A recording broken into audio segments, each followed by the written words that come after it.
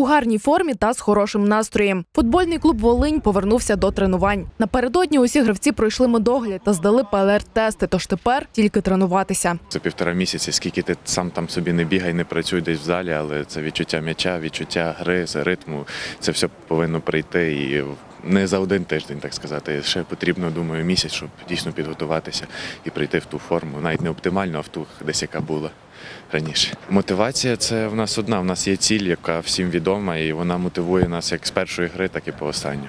Нині ж гравці мають по два тренування в день. Перший зимовий збір команда проводить у Луцьку. Під час нього планують два контрольні поєдинки. 30 січня зустрінуться із Житомирським поліссям. А 7 лютого хрестоносці планують зійтися у протистоянні з Тернопільською нивою. У нас предстоит На нас чекає дуже цікавий рік. Нас чекає другий етап.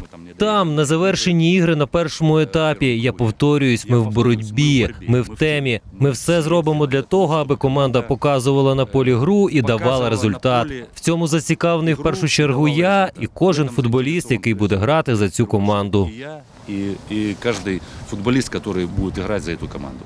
Щоправда, у новий етап не без змін. Семеро гравців покинули команду. Натомість є у складі і підсилення. Після кількамісячної паузи повернувся іранський футболіст Сіаваш Хагназарі.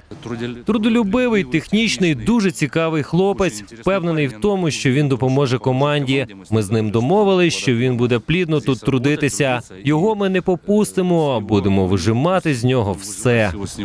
Сам гравець ділиться поверненню у команду дуже радий. Uh, I have too much motivation.